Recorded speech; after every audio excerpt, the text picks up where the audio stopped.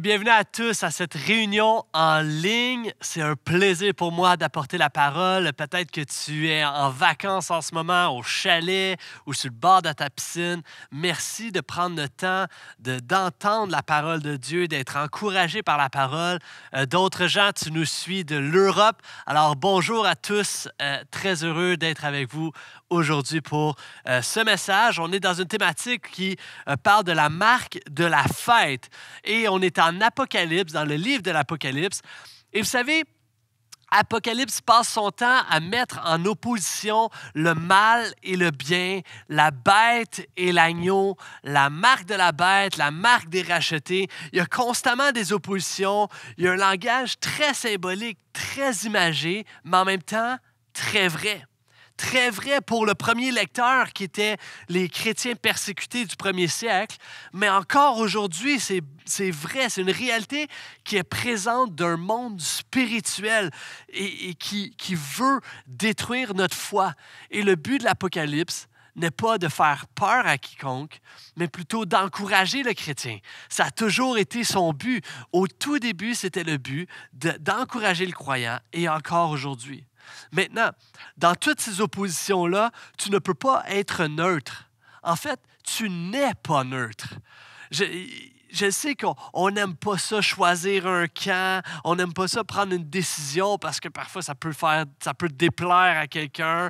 Alors, mais dans ton quotidien, tu fais des choix. Si je te demande diète ou régulier, régulier, tu fais un choix.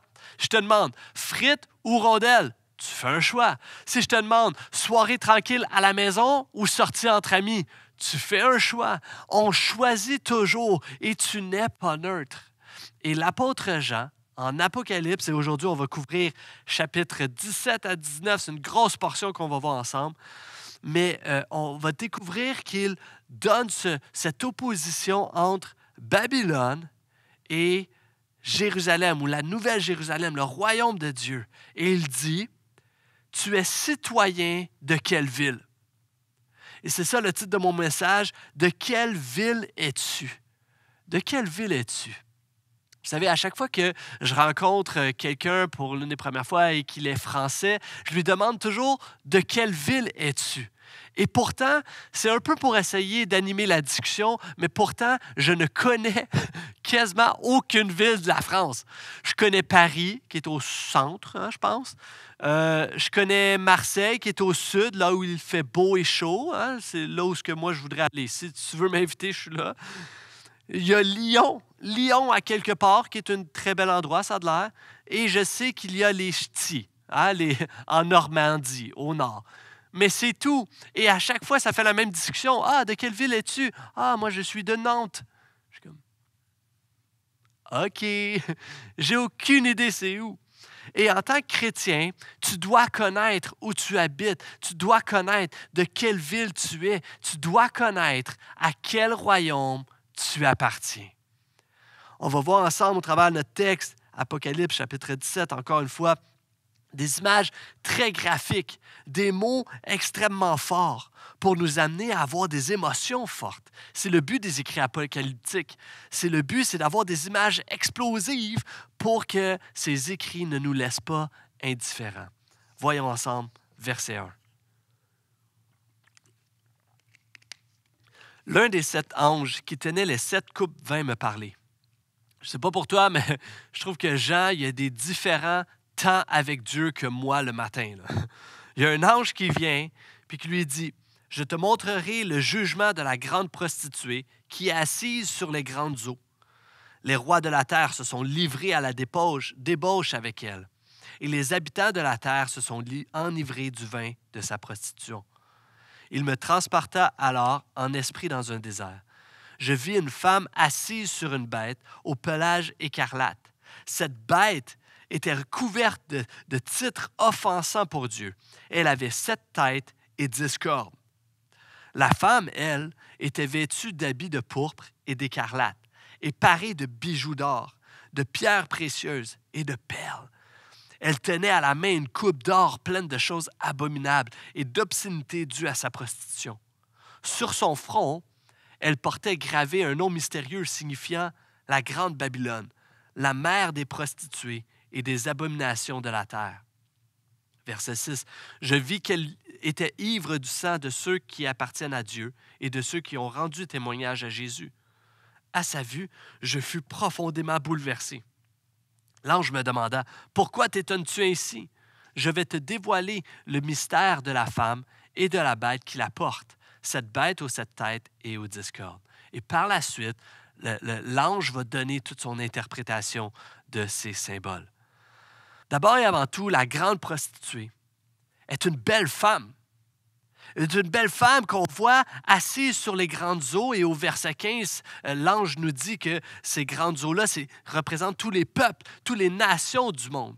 Elle est assise aussi sur une bête qui est la même bête que Apocalypse 13 et qui, elle, fait aussi référence à Daniel chapitre 7.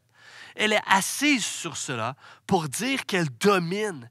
Elle domine les peuples et les nations entières. Ça nous dit aussi que les rois sont attirés vers elle vers son opulence, vers ses richesses, vers son éclat, vers sa beauté, vers sa sensualité. Cette femme-là est, wow, est attirante. Elle est vêtue de pourpre, de bijoux. Elle représente toute la beauté du monde, l'attrait séduisant. Et en plus de ça, elle semble être prospère. Cette femme, Babylone, est attirante. Elle est belle. Elle a l'air fun. Elle a même, on dirait qu'elle a de l'argent même. Et à sa vue, l'apôtre Jean, verset 6, ça nous dit qu'il fut étonné, bouleversé. Oh, wow! Ça fait, ça fait 16 chapitres qui voient des bêtes, des dragons, des monstres, des choses incroyables. Et là, wow, OK. Une belle femme, il arrive dans le portrait. Jean, il est, bouleversé, il est étonné. Et tout de suite, immédiatement, il y a un ange qui dit Attention, attention, attention, qui attire son attention. Il dit n'est pas si belle que ça, c'est pas si beau que ça. Il veut que Jean résiste à la séduction. Parce qu'il était en train de réussir, il était en train de déstabiliser Jean. Mais mon premier point ce matin, c'est que tu es appelé par sa grâce. Et c'est intéressant que l'ange secoue Jean et dit Attends, attends, attends, attends, attends. Résiste à la tentation, résiste à la séduction. Il va lui ouvrir les yeux, lui donner le discernement sur ce qu'elle représente. Rappelle-toi un instant, Jean écrit aux chrétiens, à l'Église, pour que eux, ils voient que ce monde est attirant c'est ce qu'elle représente, la grande prostituée. Parce qu'imagine juste un instant qu'un démon vient te voir. OK? Ça, va être soit une bête horrible ou soit un homme en, habit noir avec sa cravate noire, dépendamment du film que tu as regardé. Mais imagine ce démon qui vient te voir, puis il te dit directement dans les yeux Je veux te détruire. Je veux détruire ton mariage, ta famille. Je veux tout éclater dans ta vie. Je veux que tu deviennes déprimé, anxieux, te ruiner, même t'amener peut-être à, des dépendances qui sont honteuses. Aucun d'entre nous qui, qui sommes chrétiens va dire Ah ouais, let's go. Yes, j'embarque. Personne va dire oui.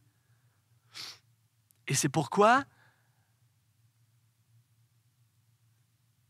la séduction est représentée par une femme, par une belle femme séduisante qui dit Ah, qui t'amène à vouloir plus, qui t'amène à vouloir autre chose, qui t'amène à vouloir euh, quelque chose de différent, ou juste essayer. De toute manière, c'est juste un petit site inoffensif. De toute manière, c'est juste un petit texto anodin. De toute manière, c'est juste un autre petit achat que tu en as vraiment besoin. elle offre tellement de choses. Elle offre des promesses de pouvoir, de confort. Elle semble avoir un luxe, des richesses. Puis en plus, tu peux même garder ta belle petite spiritualité. Tu peux continuer à être une bonne personne. Une spiritualité vide, par contre, qui n'a pas Jésus-Christ. Combien de gens au travers 15 dernières années de ministère, combien de gens j'ai côtoyé, avec qui j'ai cheminé, qui sont venus à l'Église, puis qui ont, rencontré euh, euh, les gens et tout ça, qui connectaient avec l'Église pendant des mois et on cheminait, puis c'était le fun, c'était super, une belle histoire. Puis de m'emmener, oups, on commence à moins les voir. Puis de m'emmener, oups, on les voit juste plus. Puis on garde un peu contact, puis je les regarde et je les vois sur les réseaux sociaux, puis ils vivent toutes sortes de choses, puis ils continuent de publier des petites citations à saveur spirituelle. Mais pourtant, ils ont été séduits par le monde. Et leur petite spiritualité qui leur donne un, confort, un sentiment que, ah oui, je suis encore avec Dieu, je suis encore correct, c'est juste du vide. Puis il n'y a rien de, l'évangile de la personne et de l'œuvre de Jésus-Christ. Cette belle femme te dit, viens ici, tu vas vivre ta best life. Viens ici, tu vas avoir ce que tu mérites vraiment. Viens ici, je vais te combler, moi. Pourquoi tu suivrais Jésus? C'est tellement plein de restrictions, là. Saviez-vous que 71% de ceux qui quittent la foi de leur enfance ont graduellement quitté? C'est jamais arrivé ou c'est rarement arrivé du jour au lendemain. Le lendemain, ils sont séduits. Et c'est ça l'avertissement de Jean. C'est ça le chapitre 17. C'est attention à la séduction. Résiste parce qu'elle est belle. C'est tentant. C'est un clickbait. Hein? Savez-vous, c'est quoi un clickbait? C'est euh, un appât à clic sur Internet. C'est lorsque tu vois une pub ou un article qui, pique ta curiosité et finalement tu cliques dessus puis tu réalises que c'est juste vide. Voici voici un exemple il va être écrit Ah, voici ce qu'a fait un tel pour survivre à une canicule. Et là, toi, oups, par hasard, il fait 39 où ce que tu habites. Tu vois cet article-là, tu dis Ah, Brad Pitt, je veux savoir ce qu'il a fait. Tu cliques. Tu t'es fait avoir. Ou un autre. Attention, ces 21 photos sont impossibles à regarder jusqu'au bout. Surtout la 19e. Là, tu dis Ah non, je suis sûr que je suis capable de regarder. Même la 19e.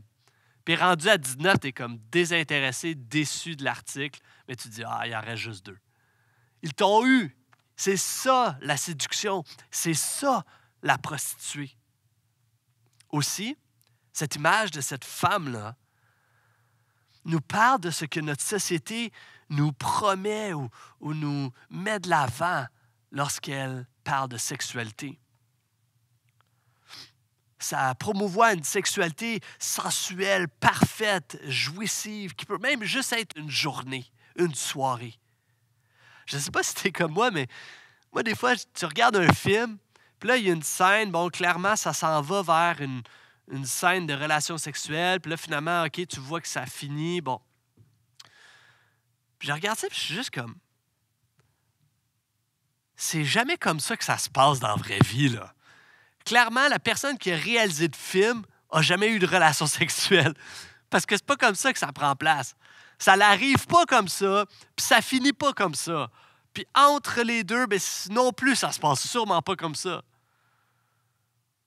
C'est, ce que je passe mon temps lorsque euh, je suis en préparation de mariage avec un jeune couple qui a décidé de ne pas bâtir leur couple sur la sexualité, mais plutôt sur Jésus-Christ et sur la communication et sur d'autres valeurs et qui donc se préservent pour le mariage, je leur dis toujours tu sais quoi?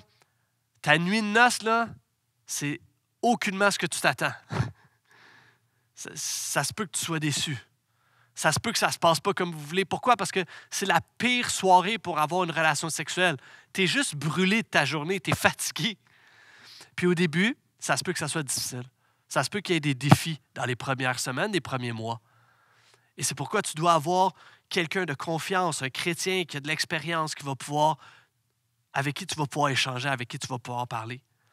Parce que on s'est fait vendre une sexualité par cette belle femme qui n'était pas la réalité. Et moi, je dis souvent, finalement, le sexe, c'est comme du vin. Hein, ça devient meilleur avec les années. Mais la prostituée, elle, notre culture hyper sexualisée, veut nous tenter de dire Ah, c'est la faute de ma femme et pas assez game. Ah, c'est la faute de mon mari. Il n'est pas assez romantique. Ah, c'est ma faute. Ma technique, elle ne doit pas être bonne. J'ai pas eu assez de pratique. Au lieu de nous amener à, valoriser l'être, l'autre personne, ton, conjoint, ta conjointe, non.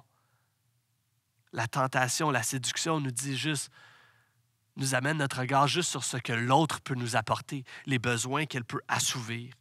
Et ça devient finalement une relation de consommation. et c'est ça qui est. C'est de la perversion. Et c'est néfaste pour toi, c'est néfaste pour moi, c'est néfaste pour n'importe quel couple, c'est néfaste pour n'importe quelle personne sexuée. Et voici comment cette prostituée-là, elle, elle poursuit, verset 16, chapitre 17. Mais les dix cornes que tu as vues, ainsi que la bête, prendront la prostituée en haine. Elles la dépouilleront de tout ce qu'elle a et la laisseront nue. Elles dévoreront ses chairs et la consumeront par le feu. La bête va finalement tuer la prostituée elle-même. Elle, s'auto-détruit. Le mal s'auto-détruit. Pourquoi? Parce qu'elle ne peut pas s'assouvir elle ne peut pas se rassasier. Cette tentation-là, le mal, la, prostituée qui est appelée Babylone, en veut toujours plus. Je regardais un documentaire dernièrement sur euh, un artiste, puis on voyait toute la popularité de cet artiste-là, la célébrité, même la gloire un peu. Puis on la regardait, puis je me disais, mais c'est triste. Parce que tu vois l'artiste, puis il a juste tellement l'air toujours stressé. Il a toujours l'air, euh, euh, il s'arrête jamais, il est jamais comblé. Parce que la popularité en redemande toujours plus. Demande un meilleur album de musique, demande un meilleur film, demande une meilleure performance. Et finalement, cette personne-là se sent juste consommée c'est incroyable. Cette personne-là, on consomme des choses et on consomme des gens. Et maintenant, cette personne-là se sent consommée. Puis nous, à l'inverse, on regarde ça, on trouve ça wow, beau, ça a l'air bon. Ah, ça doit tellement être gratifiant d'avoir des foules qui t'aiment puis qui veulent ton autographe. Puis on aspire à ça, puis on aimerait ça. Puis on dit wow, regarde tous les voyages, tout ça. On aspire à ça, puis lui, il est juste là, il a juste l'impression de se faire consommer, puis nous, on aspire à le consommer davantage. C'est juste triste. Imagine juste un instant ce que toi tu aspires, ce que toi tu recherches. Et ce que ça nous enseigne, c'est que si tu l'as, si je te le donne maintenant, tu vas en vouloir plus. Tu vas en vouloir plus. Je me rappelle d'être allé dîner avec un de mes amis il y a quelques années qui euh, faisait faisait plein de voyages, à droite, à gauche. Il était tout le temps en voyage. Euh, il, avait, il vivait la vie d'hôtel. Tu voyais tout le temps des publications sur Instagram d'hôtel, puis tout ça. Puis euh, il rencontrait toujours des célébrités, des, des joueurs de hockey professionnels parce qu'il travaillait à l'époque pour une marque de vêtements. Puis euh, il présentait donc sa ligne de vêtements pour que le joueur ou la personne puisse porter ce vêtement-là puis endosser un peu la marque. Alors, il était là, il, il se promenait, tout ça. Puis on discutait un peu ensemble, puis j'étais comme, c'est quand même, quand même cool ce que tu vis, tu sais. C'est quand même une grosse vie, là, tu sais. Puis il dit, Max, j'en ai juste plus de vie. Puis avec une tristesse là, tellement profonde, il me dit, j'en ai plus de vie. Je suis toujours tout seul, je suis toujours parti, je suis jamais chez nous, jamais avec ma femme c'est cool, là, ça a l'air cool sur Instagram. Je fais une belle story de 5 secondes, je monte ma chambre d'hôtel avec la belle vue. Mais après ça, je suis tout seul à l'hôtel. Je rencontre du monde qui ne veulent pas vraiment me rencontrer, qui ont pas vraiment, ils veulent pas vraiment me connaître. C'est un échange de, produits, de, marketing. C'est... Je veux pas trop je veux pas aller à la fête parce que je sais que ça va juste dégénérer. On me demande toujours plus, c'est jamais assez. Puis encore une fois, même les chrétiens, on regarde ce style de vie-là, puis ça nous séduit. On est tenté, attiré, séduit par quelque chose. Et cette chose-là, peu importe ce qui tente de te séduire, Ça veut te tuer, tuer ta foi, te détruire et peut-être te consommer tout simplement. Résiste à la séduction. Résiste à la séduction. Il y a quelques années, je me suis acheté une maison. C'était ma première maison. J'étais en appartement avant. J'arrive à ma maison, puis j'avais juste un seul rêve. Moi, là, je me suis toujours dit, j'achète ma maison, puis je veux juste un foyer extérieur euh, pour faire des feux le soir. C'est tout ce que je veux. Et tout le monde dans mon entourage le savait tellement que le jour où on est emménagé, le lendemain, mes beaux-parents y arrivaient avec un cadeau pour nous, puis c'était un foyer extérieur. Et là, je suis tellement heureux, gros foyer, de ça. J'installe ça, on est heureux, je, suis comme nice, enfin, chez nous, avec mon foyer extérieur, génial. Je suis heureux. Et là, mon nouveau voisin vient me voir, puis il me dit Ah, Max, euh, il dit, tu sais, il dit, moi, ça me dérange pas personnellement, mais euh, je sais que la ville où j'habite, euh, eux interdisent les foyers extérieurs. Même s'il y a des couvercles, tout ça, ils interdisent les foyers extérieurs. Puis je sais qu'il y a des voisins qui ont déjà fait des plaintes envers d'autres anciens voisins. Puis même les pompiers de m'emmener, ils s'en étaient mêlés, puis tout ça. Puis je suis comme, ah non, c'est pas sérieux. Je vais sur le site Internet de, de ma ville, puis effectivement, ça semble être interdit. Fait que là, je suis vraiment déçu. Et depuis ce temps, on a revendu, on a redonné, puis remboursé le, foyer. Et depuis ce temps, je ne cesse de résister à la tentation, à la séduction. À chaque, à chaque printemps, j'arrive dans les magasins de grande surface, puis ils sont là, à l'extérieur, les foyers, à bas prix. Et je résiste, et je résiste, et je résiste. Puis dernièrement même, parce que je sais que ma ville ne le permet pas, ça a l'air. Et là, dernièrement, il y, a, un homme de notre église qui a toujours vécu euh, en ville, toujours à Montréal. Puis là, il vient juste de déménager en banlieue. Il s'est donc joint à notre église à Terrebonne. Puis il découvre la vie de banlieue. Il est tout heureux d'avoir un terrain. Il est tout heureux de tondre son gazon. OK. Puis dernièrement, il m'envoie une photo, la photo classique, de lui avec ses pieds, ses sandales, son foyer extérieur, sa guimauve. Et jusqu'à ce jour, il ne le sait pas encore. Mais pour moi, il était Babylone. la grande séduction. J'ai comme non, non. Mais par la grâce de Dieu, tu peux résister à tout ce que Babylone peut représenter pour toi. Effectivement, sur le front de cette femme, il était écrit son nom, Babylone. Encore le front. As-tu remarqué, hein? Encore le front, parce que le front détermine les idéologies, les pensées. Les mains, ce sont les actions. Le front, c'est les pensées. Parenthèse, il y a des gens, tu as peur d'un tatou, tu as peur d'une puce dans ton front. Mon ami, tu devrais être plus concerné par les idéologies païennes qui intoxiquent tes pensées dans ton quotidien. La tentation a un nom et c'est Babylone. Babylone qui nous fait penser à Babel, hein, la tour de Babel en Genèse. Mais Babylone était aussi une ville de Mésopotamie ancien. Une ville qui est devenue un empire politique et religieux. On voit ça aussi en Daniel. Était connue pour sa luxure, pour sa corruption morale. Et c'était un ennemi du peuple de Dieu. Un ennemi notable qui avait traumatisé les pensées de tous les chrétiens, les juifs et les chrétiens du premier siècle. Alors, lorsqu'ils voient Babylone, ils voient notre ennemi. Et actuellement, au premier siècle, leur ennemi, leur persécuteur, c'est Rome. Rome est le nouvel archétype de la rébellion de l'être humain contre Dieu. Mais les chrétiens savent très bien que aujourd'hui c'est Rome, mais demain ce sera un autre empire qui va nous persécuter. La bête qui est entourée de sept montagnes.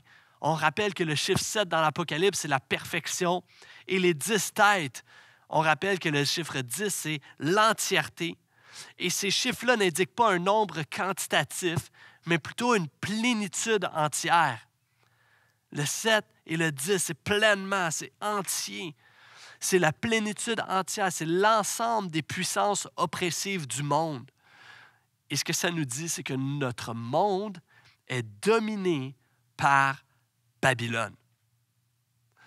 Au travers tous les âges, tous les empires, tous les rois, il y a toujours l'idéologie de Babylone, de la prostituée qui domine.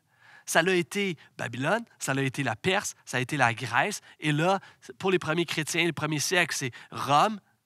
Puis il y a des gens, tu regardes, tu regardes la Chine, puis tu dis Ah, oh, c'est eux. Tu regardes l'URSS, ah, c'était eux.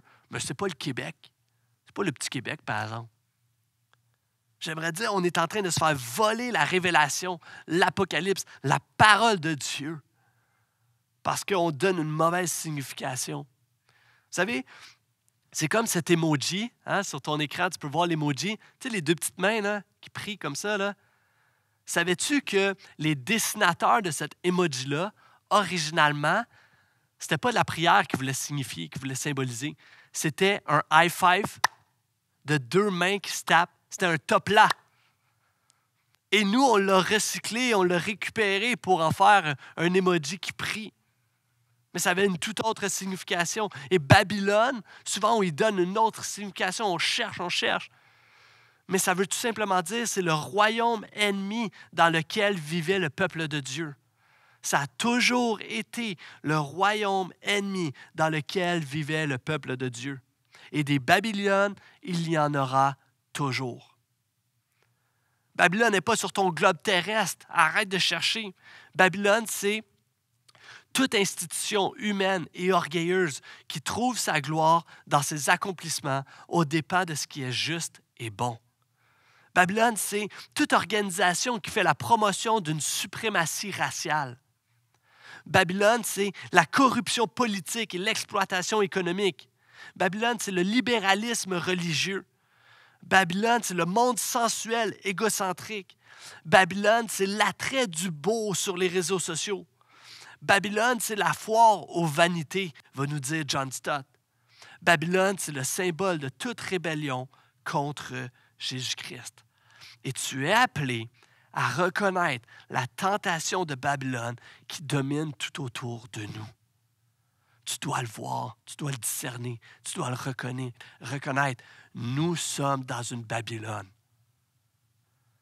Ça me fait penser à, ce jeune homme qui euh, fait son choix de cours à l'université, puis qui a besoin de choisir un, cours complémentaire dans, son cursus, puis il choisit son cours d'ornithologie. Hein, il se dit, étudier des oiseaux, ça va être un A plus facile, je veux dire, des oiseaux, ça devrait être assez facile. Et finalement, il tombe sur un professeur vraiment passionnés, zélés, qui les amènent dans des, dans des journées d'exploration en forêt. Puis là, il, réalise, plus la session avance, que c'est vraiment difficile, il y a des difficultés, et que pour passer sa session, il doit réussir et avoir une bonne note dans son cours d'ornithologie, qui était supposé être juste un cours secondaire. Alors, il se met à étudier, étudier, étudier ses, livres, étudier les différentes sortes d'oiseaux, ce qu'ils mangent, la reproduction des oiseaux, puis il connaît plein d'affaires sur les oiseaux. Il arrive le jour même de l'examen final et le professeur leur dit, voici, il y a une seule question que je vous pose. Puis il va y avoir plusieurs réponses, mais une seule question. À qui appartient ces pattes d'oiseau? Et là, il y a une image qui s'installe sur un grand écran avec 37 pattes d'oiseau. Et le professeur dit, c'est tout simple. Vous avez 37 pattes d'oiseau. Vous devez me dire à quel type d'oiseau, quels oiseaux c'est, selon leurs pattes. Alors l'étudiant, le jeune homme, il est furieux furieux. Il dit Voyons donc, j'ai étudié mes livres, puis mes livres, ça n'a pas d'allure. Tellement furieux qu'il se lève en pleine classe, et il dit Monsieur, je suis offusqué. Vous ne pouvez pas nous demander une telle question. On n'a jamais vu ça dans nos livres. Il dit On n'a pas passé du temps dans les livres, on a passé du temps à observer des oiseaux. Vous avez vu tout ça, vous avez vu les pattes. Il dit Non, mais ça n'a pas d'allure. Vous ne pouvez pas nous poser une question comme ça.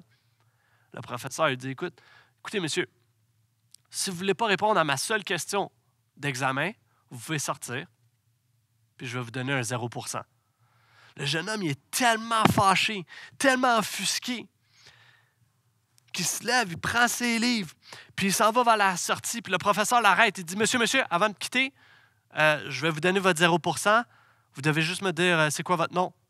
Il dit Ah ouais, ouais, tu veux mon nom? Je ne sais pas, c'est à toi de me le dire.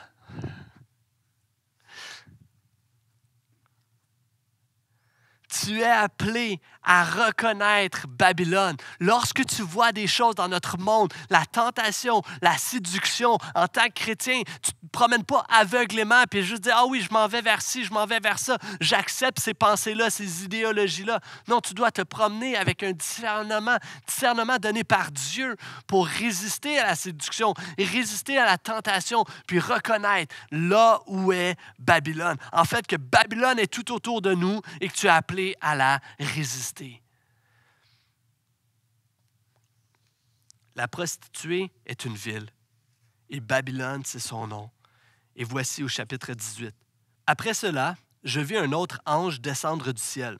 Il détenait un grand pouvoir et toute la terre fut illuminée du rayonnement de sa gloire.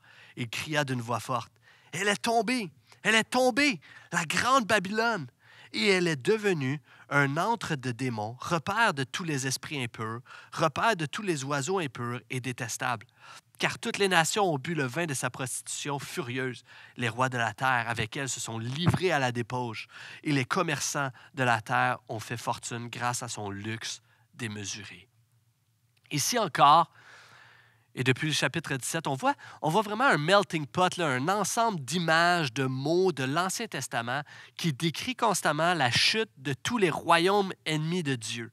Si tu fais une étude plus approfondie, je te donne les références. Tu peux étudier Ésaïe, chapitre 13, 23, 34, 47, Jérémie, chapitre 50 et 51, Ézéchiel, chapitre 26 et chapitre 27. Mais le message qu'on veut retenir pour aujourd'hui, c'est ce royaume tombera. Babylone est tombée. C'est une annonce, ce n'est pas encore fait, mais ça s'en vient. Et pour le chrétien persécuté du premier siècle, c'est. Attends, attends. C'est impossible. Rome est juste trop forte. Rome est au sommet de sa gloire. Elle dirige toute nation. C'est une puissance incontestée. Puis tu Jean, un prophète esclave sur son île qui dit Ah, Babylone. Vous savez, l'Apocalypse ne concerne pas seulement le passé. Parce que oui, Babylone va tomber vers le quatrième siècle. Mais ça nous concerne jusqu'à aujourd'hui. Et ça nous dit tout ce qui veut nous détruire sera détruit. Ce royaume tombera, malgré les tentations, malgré l'attirance du monde. Et quel espoir pour nous qui sommes constamment tentés par ce royaume matérialiste, individualiste, d'hypersexualisation, de recherche de prestige et de pouvoir. J'aimerais te faire une prophétie ce matin. Une prophétie. Ce royaume tombera. Ce n'est pas le Max le prophète qui le dit, c'est la parole de Dieu. Ce royaume tombera avec tous ses biens, ils vont se ramasser à la poubelle. Tous ces beaux vêtements seront des chiffons. Les comptes bancaires qu'on on espérerait tellement placer notre sécurité à l'intérieur de ça vont subir un crash ultime. Le seul qui subsistera, c'est Dieu et son royaume et son peuple. C'est tout. Ce royaume tombera. Et maintenant, comment nous positionner aujourd'hui face à cela? C'est intéressant, on est allé voir euh, un jour l'homme François d'Assise, un homme bien connu qui était en train de travailler dans son jardin, en train de tailler sa haie. Puis on lui a demandé Que feriez-vous si vous appreniez que au coucher de soleil, soudainement, vous mourriez Il te reste quelques heures à vivre. François d'Assise va répondre Je finirai de tailler ma haie. Mais quelle assurance, quelle espérance nous avons, une espérance éternelle. Nous sommes appelés à juste, on sait que Babylone tombera, mais on est appelé à juste continuer à vivre. Oh oui, continuer à vivre, mais vivre différemment. Verset 4, chapitre 18 nous dit, Puis j'entendis encore une autre voix venant du ciel qui disait, Sortez du milieu d'elle, membres de mon peuple, afin de, un, ne pas participer à ses péchés, et deux, ne pas être frappé avec elle des fléaux qui vont l'atteindre. Car ses péchés se sont amoncelés jusqu'au ciel et Dieu s'est souvenu de toutes ses actions injuste. Sors de cette ville, sors de ta relation avec cette prostituée, sors de ce royaume de Babylone. Est-ce que ça veut dire que tous les chrétiens, on doit se rassembler puis aller s'enfermer dans un monastère? Parce qu'il y en a plusieurs qui le font. Hein? Ça existe, des Amish, ça existe. Mais bien plus que changer d'adresse, tu dois avoir un changement de cœur. Ton cœur doit changer. Bien que nous vivions à Babylone, nous ne serons pas captifs des coutumes et des valeurs babyloniennes, de ces pensées-là, et on va vivre différemment. Et c'est pourquoi le chrétien d'aujourd'hui, tu es appelé à rejeter la violence de Babylone, la colère, pour être un, agent de paix, quelqu'un qui recherche la paix, qui ne s'en va pas vers des débats futiles, puis juste des arguments, puis juste des, des animés, des querelles. Non, on recherche la paix. On va vivre différemment en rejetant la consommation de Babylone et avoir un style de vie de générosité, de contentement, de cela me suffit parce que c'est déjà une grâce, tout ce que j'ai. Vivre différemment en rejetant l'éthique sexuelle de Babylone, cette perversité éphémère qui délaisse l'autre être créé par Dieu. Non, au contraire, on va embrasser la joie d'une sexualité que Dieu donne à un homme et une femme dans une alliance basée sur l'amour et non pas sur la consommation. Et finalement, Église le portail, nous allons aussi rejeter la haine envers Babylone et ses habitants. Parce que la réalité, c'est que en, s'éloignant de tellement de choses, parfois on peut en devenir à haïr Babylone et ses habitants. Tu n'es pas appelé à les haïr. Oui, nous, nous haïssons le péché, mais nous n'haïssons pas le pécheur. Tu es appelé à avoir compassion, avoir un amour réellement actif, avoir une hospitalité radicale envers ceux qui ne connaissent pas Jésus. D'ailleurs, Jésus n'a-t-il pas accueilli lui-même la prostituée?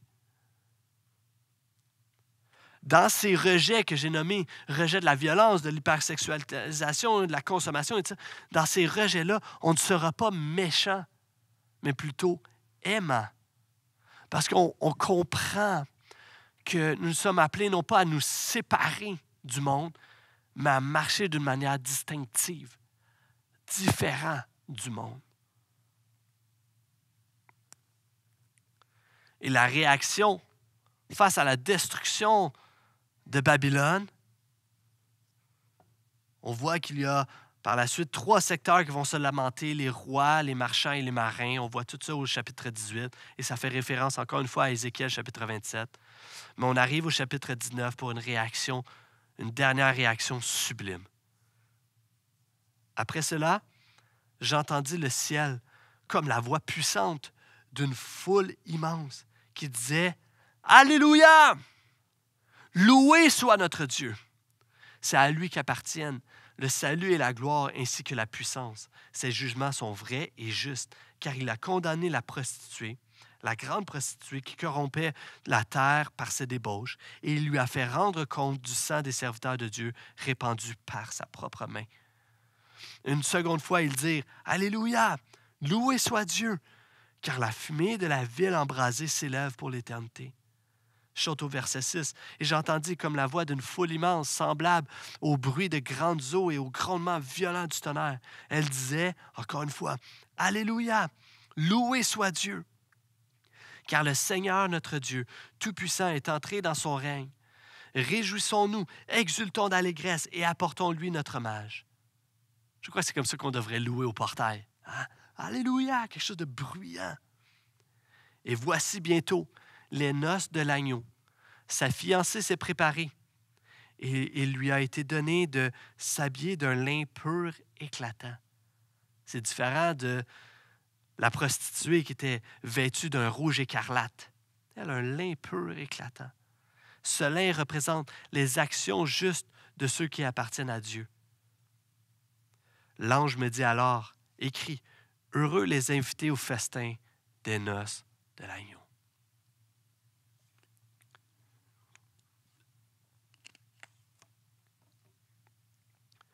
Une foule immense. Toute la création est là, exulte en louange. Alléluia! Alors que certains pleurent sa perte, le peuple de Dieu dit Alléluia! qui littéralement veut dire louer Yah, Yahweh. Loué soit Dieu. Alléluia. Et tu pourrais penser qu'on voit ce mot-là partout dans le Nouveau Testament, mais on le voit seulement à quatre endroits bien précis, quatre fois dans tout le Nouveau Testament. Et c'est au chapitre 19, au verset 1, 3, 4 et 6. Alléluia. Ça résonne. Alléluia. N'adore pas les richesses de Babylone. Loue Dieu. Alléluia. N'adore pas la puissance de Babylone. Loue Dieu. N'adore pas ses plaisirs sensuels ou mondains que Babylone offre. Alléluia. Loue Dieu. Le royaume de Dieu est en fête. Il célèbre. Alléluia. Réalise juste un instant que lorsque nous chantons, oui, nous chantons et nous disons des mots à Dieu, une louange, nous chantons à Dieu. Mais réalise juste un instant que lorsque nous le faisons, lorsque nous disons Alléluia, nous disons aussi quelque chose à notre ville, à ceux qui nous entourent. Lorsque l'Église s'écrit Alléluia dans sa communauté, on est en train de dire qu'on refuse d'être séduit par le trésor et le plaisir de Babylone. On refuse de croire au mensonge satanique qu'il y a plus de satisfaction à trouver dans le monde qu'en Jésus. On refuse cela. On crie Alléluia. Loué soit notre Dieu. Et finalement, ça nous donne l'image de l'Église comme étant l'épouse ou du moins à ce moment-ci, la fiancée qui s'unit à l'agneau. Et je sais qu'il y a peut-être plusieurs hommes que tu te dis Wow, c'est pas très match, pas très masculin cette image-là. Mais en même temps, il y a plusieurs femmes qui se disent Ouais, c'est pas super cute d'épouser un agneau. Mais les noces de l'agneau, c'est, c'est juste cette image d'une alliance d'amour, d'une rencontre avec Jésus, l'agneau dans une communion intime, précieuse, belle et festive. Ça va ressembler à quoi? Honnêtement, je ne sais pas. Je ne sais pas qu'est-ce qu'on va manger. Sûrement pas de l'agneau. C'est un peu spécial. Une chose est certaine, c'est que je sais que ça va être la fête. Puis c'est difficile à s'imaginer parce que moi, personnellement, je me suis marié très jeune, euh, quand même concours de circonstances, j'ai rencontré ma femme jeune, puis on a décidé de se marier jeune parce qu'on était rendu là dans notre vie, dans notre cheminement. Mais en se mariant très jeune, mon mariage, pour être honnête, était un peu plate. C'était plate. Parce qu'on ne savait pas comment faire la fête. On ne savait pas c'était quoi fêter, avoir une belle fête. Pas beaucoup d'expérience de vie dans ce domaine-là. Puis encore aujourd'hui, quand je vais dans des mariages, comprends-moi bien, j'aime, ce que j'aime le plus faire au monde, c'est célébrer des mariages, carrément, faire la cérémonie de mariage. Mais euh, j'aime ça, avoir du fun, j'aime ça rire, j'aime ça avoir du plaisir, j'aime ça être avec des amis et tout ça. Mais dans un mariage, il y a toujours un moment donné où ce que je me retrouve sur une piste de danse en rond, puis je vois juste pas l'intérêt. je suis comme, eh, OK, OK. Alors, lorsqu'on me parle des noces de l'agneau, je ne sais pas à quoi m'attendre. Mais pensez juste un instant. Une fête avec Jésus et une célébration sans péché. Comment? Pensez juste un instant. Tu enlèves tout ce qui est mal, mauvais, triste de notre monde. Et tu ajoutes tout ce qui est bon, beau, juste et agréable. Wow! C'est ça, le peuple de Dieu qui rencontre Jésus, les noces de l'agneau. Et la plus belle des choses, c'est que tu es invité à ce mariage. Tu es invité. Ah, tu dois réserver ta place parce que Jésus veut faire les tables. Mais tu es le bienvenu. Tu es invité. Juste que tu répondes par la repentance, par la foi, par ton attachement à Jésus. Si tu as besoin d'aide pour faire ce, prendre cette décision-là, on est là pour toi. Ça va nous faire plaisir de juste cheminer avec toi, prier avec toi, te conseiller du mieux qu'on peut. Mais ça m'amène à, ça me ramène à ma question initiale. De quelle ville es-tu? Est-ce que tu es séduit par Babylone qui va être détruit, qui va te faire sombrer? Ou tu résistes et tu veux sortir de cette ville pour célébrer l'espérance que nous avons en Jésus? De quelle ville es-tu? Et je crois qu'il n'y a pas de meilleure façon que de terminer ce message en répondant par la louange avec ce chant qui va commencer dans quelques instants, qui dit Rien au monde, rien au monde ne peut me combler. Il n'y a aucune séduction, aucune il n'y a rien au monde qui peut me combler. Pardonne-moi, Seigneur, quand je pensais autrement. Pardonne-moi, Seigneur, mais je veux ton cœur. Bonne louange. Soyez bénis.